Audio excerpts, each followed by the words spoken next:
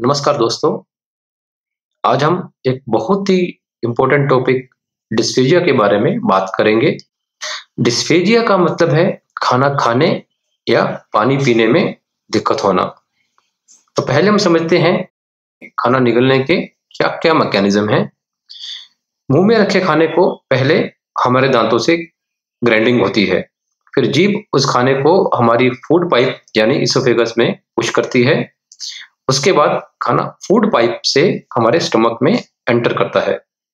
यदि हमारे दांतों, जीभ या फ़ूड पाइप में कहीं भी दिक्कत है तो उससे हमें डिस्फेजिया हो सकता है। जीभ में कमज़ोरी आने के कारण है मसल डिज़ीज़ जैसे कि मायस्थीनिया ग्रेविस जीभ में कमज़ोरी अगर किसी को पहले लकवा हुआ हो, उससे भी आ सकती है। डिस्फेजिया का सबसे जो मेन कारण है, वो है फ़ूड पाइप के अंदर नर्विंग हो जाना। तो हमारी फ़ूड पाइप में नर्विंग किन किन कारणों से आ सकती है? यदि हमारी फ़ूड पाइप में मेम्ब्रेन है, जिसे कि हम वेब बोलते हैं, उससे हमारी फ़ूड पाइप नैरो हो जाती है और खाना खाने में दिक्कत आ सकती है। यदि किसी को पहले की रिफ्लक्स रहा हो रिफ्लक्स होने से भी फ़ूड पाइप में स्ट्रक्चर बन जाता है, जैसे कि हम पेप्टिक स्ट्रक्चर बोलते हैं। फ़ूड पाइप के ट्यूमर या कैंसर होने से भी डिस्फेजिया हो सकता है। फ़ूड पाइप का कैंसर ओल्ड एज में एक काफ़ी कॉमन कोज है डिस्फेजिया का। यदि किसी को फ़ूड पाइप की एलर्जी होती है, जिसे कि हम यूसिनोफिलिक इसोफेजाइटिस कहते हैं, इसे आप फ़ूड पाइप का अस्थमा भी कह सकते हैं। उसके अंदर भी फ़ूड पाइप में नैरोइंग आ सकती है। एक बहुत ही यूनिक कंडीशन है अकलेजिया कार्डिया। उसके अंदर भी डिस्पेजिया हो सकता है। अक्लेजिया के अंदर, हमारी फ़ूड पाइप के अंदर एक स्फिंक्टर होता है, जिसे कि हम वाल्व भी कह सकते हैं। अक्लेजिया के अंदर ये वाल्व टाइट हो जाता है और खाना खाने में दिक्कत आती है। तो यदि किसी को डिस्पेजिया होता है तो हम उसको डायग्नोस कैसे करते हैं? इसके लिए हमारे पास तीन मेन टेस्ट हैं।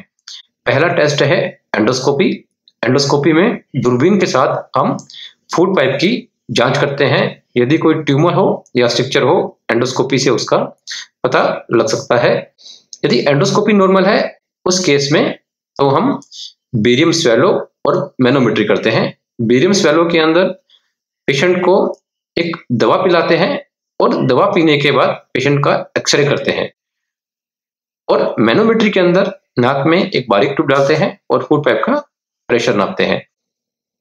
तो डिस्फेजिया का इलाज क्या है? डिस्फेजिया का ट्रीटमेंट उसके कारण पे डिपेंड करता है।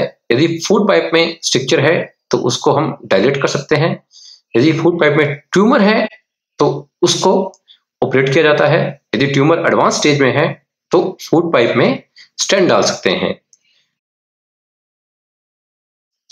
अक्लेजिया कार्डिया के केस में इसे या तो हम बैलून डायलेट कर सकते हैं, या फिर पोयम जिसे कि हम पर ओरल एंडोस्कोपिक माइटमी बोलते हैं पोएम के द्वारा भी इसका इलाज किया जा सकता है। यूसनोफिलिक इसोफेजाइटिस को हम दवाइयों से इलाज करते हैं। यदि दवाइयों से रिस्पॉन्स नहीं आता है तो उसे हम डायलेट भी कर सकते हैं।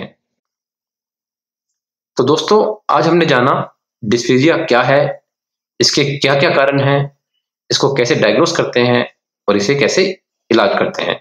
दोस्तों, अगले वीडियो में हम इसोफिजल कैंसर और अक्लेजिया कार्डिया के बारे में बात करेंगे। Thank you